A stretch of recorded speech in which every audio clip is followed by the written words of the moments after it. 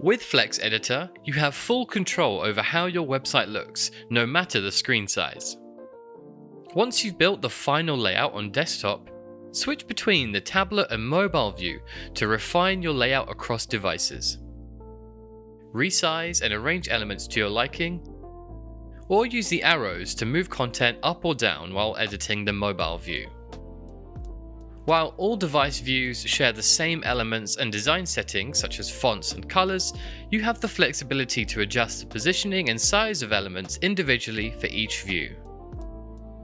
Check out other videos in this series on Flex Editor.